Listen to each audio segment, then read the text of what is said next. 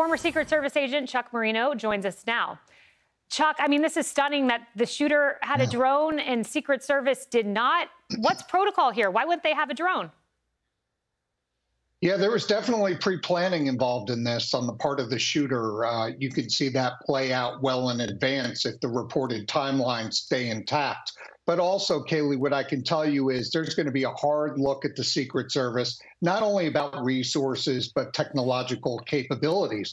Look, the Secret Service owns the overall operational security plan, and we saw that significantly fail. Not only are they responsible for creating that plan, but they're also responsible for ensuring that it is effectively implemented. And that includes making requests for state and local law enforcement counterparts, like they do throughout the rest of the country, other visits, and making sure that those officers are assigned to mitigate the threats that were identified during the advanced process.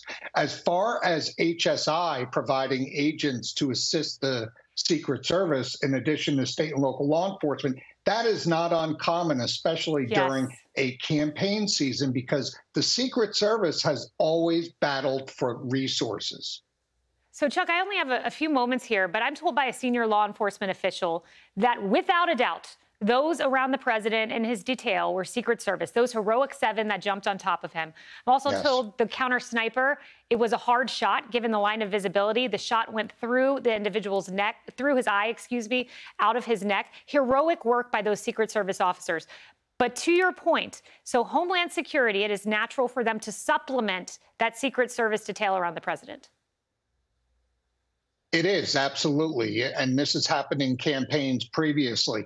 Ultimately, when it comes to Secret Service resources and whether or not they're adequate, the Secretary of Homeland Security has to answer that. Look, we're in the highest threat level we've ever had. We've got a candidate that's not only a former president, but also the presumptive uh, nominee or the official nominee, rather, for the Republican Party. So the threat is up there. It's got to be staffed accordingly, and the Secret Service has to have the resources to do the job effectively. I think there's going to be a lot of that information that comes out on Monday during the test- testimony before House oversight of the director.